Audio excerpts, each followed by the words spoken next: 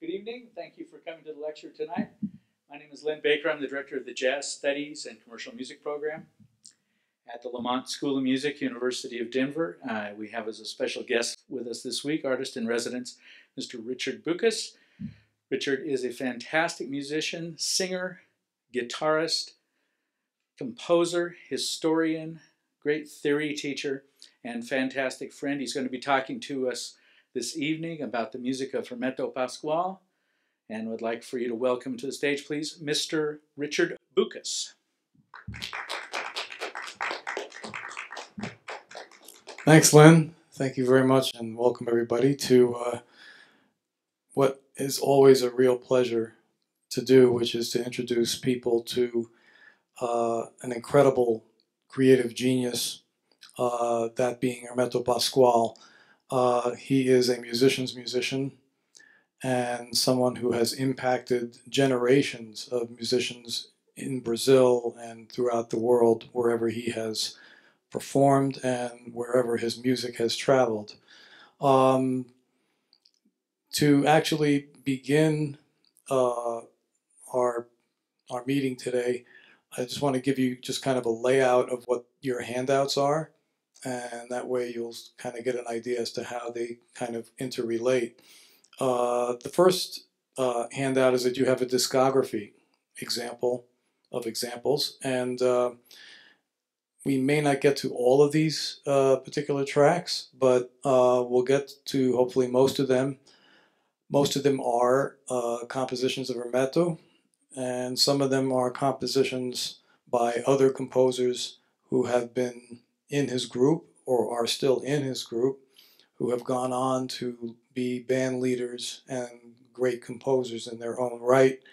Uh, most significantly, the pianist Jovino Santos Neto and the bassist Itiberê Zwarg. Uh, and we also, I believe, have one cut from Andre Marques, who is currently Hermeto's pianist over the last dozen years or so. Um, so that's your discography, and it gives you the the source of where those uh, those recordings are from. Most of them are available, and you shouldn't have much trouble finding them. Uh, the next thing is I have a, a two page handout, double sided, that kind of summarizes the formal dimensions of select pieces. So it'll say select formal analyses and phrase structure. And this kind of just gives you a map of how the piece is organized uh, in, in terms of its sectional structure and subphrases. And, um, and I think it's kind of helpful to take a look at this because in a lot of cases there's non-symmetrical phrase structures, five bar phrases, nine bar phrases, and uh, it's interesting to see just how natural they are. Just like they're natural in Haydn or Mozart. When you hear a five bar phrase of Mozart, you say, my God, that's so natural. So it's really the same with Hermeto. The other handout that you have is um, a double-sided sheet um, which discusses his chord symbol notation and his basic harmonic concepts. So um, what I thought I would do is give you just a, a brief introduction about his early life and then go directly to the handout, which is the summary of uh, his chord symbol notation. So I'm going to put, let's see, is this, I'll put this up on the, on the screen. So the thing about uh, Hermeto's notation is it's actually quite, it makes a lot of sense. It may not be that easy to read at first, but when you realize how his harmonies are constructed, you'll see that it really does make quite a bit of sense.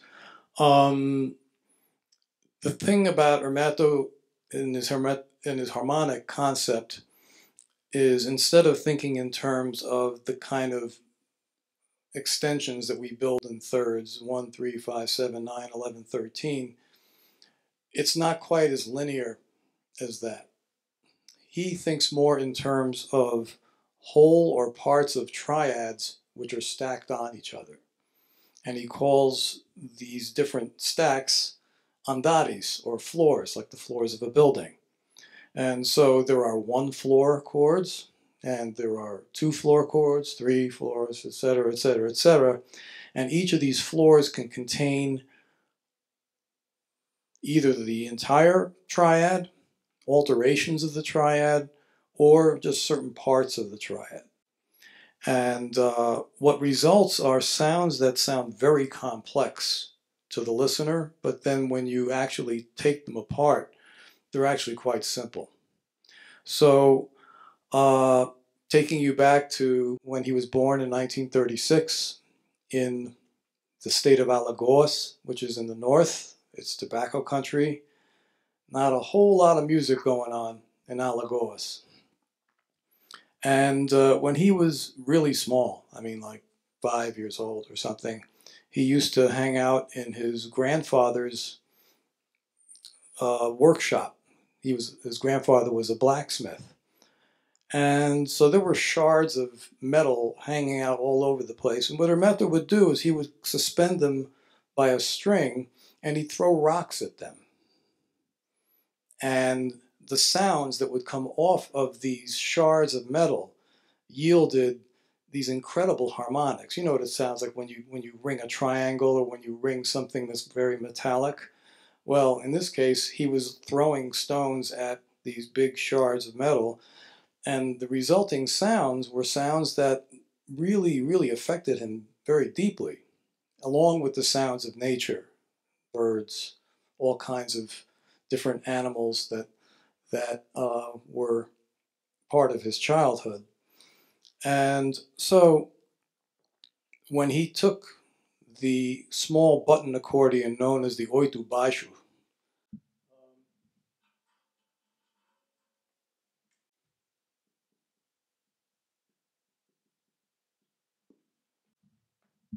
literally means eight basses. And it's a it's an accordion that's about this big, wood paneled, and it's all buttons. And the buttons, you have melodic buttons, and then on the left hand, you have buttons which are just triads. So if you need to arrive at a more complex chord, you have to mix the triads. So what he was doing when he was first learning the oito baixos is he was trying to match the sounds that he heard in his grandfather's workshop. So he was, and the only tool that he had, he didn't have a piano. He never owned a piano ever in his life until much, much later in his career. And so um, this is this was his, his exploration, trying to find those sounds that he heard as a child and trying to unearth them from this oito baixos. Um, so Hermeto, uh, being an albino, uh, his sight was very poor. And so it was very difficult for him to learn how to read music. It was very difficult for him to get a teacher to teach him how to read and, and write music. Uh, so he had to rely on his own initiative to, to do that. And so, right around 1950 or so, he decided uh, to move to Caruaru, which is still in the northeast of Brazil. And he became part of the little ensemble there. And these little ensembles, which play for radio stations in cities and villages, are called regional. It's, it looks like regional, but they're they're they're called regional, which is like literally like you're kind of like the house band for a radio station. And so if a singer comes through town, you're the band that plays for them. So he moved through Caruaru, and then not too long after that, and and and uh, what happened was that uh, there were, there weren't very many instruments there. No no orchestral instruments, no wind instruments, nothing really. Just just very basic stuff. But when he went to Recife, uh, in the state of Pernambuco, that's where he came into contact with orchestral instruments, and he would just go to these orchestra rehearsals and just sit and listen to these instruments, and that's how he got turned on to to all of these different instruments for the first time in his life.